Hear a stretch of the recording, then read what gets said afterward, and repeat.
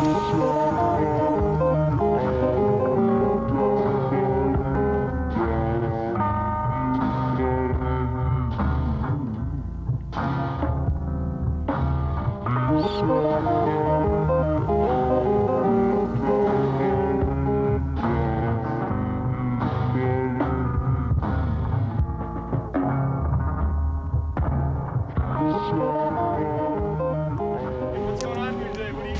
Uh, not much. We're just parking cars for our big show.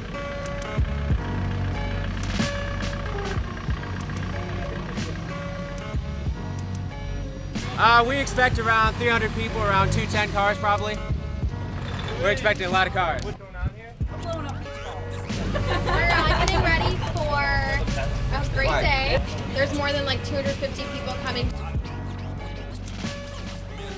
We're here out at uh, Classic Volkswagen for the uh, third annual Classic Volkswagen Get Together Cruise-In. Been to all three of them. First time we filled this small lot up.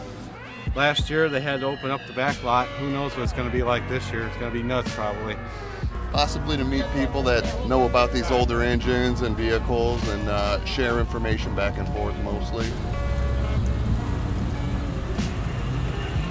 Mommy got a brand new turbo in it, so we went 101 miles an hour here.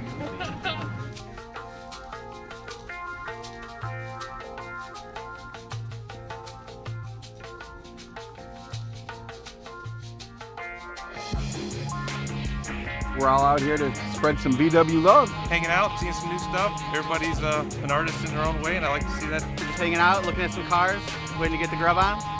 Everybody enjoys the same thing, new stuff, old stuff, but it's all Volkswagen, German cars. It's just, just awesome. I brought my 66 Beetle convertible.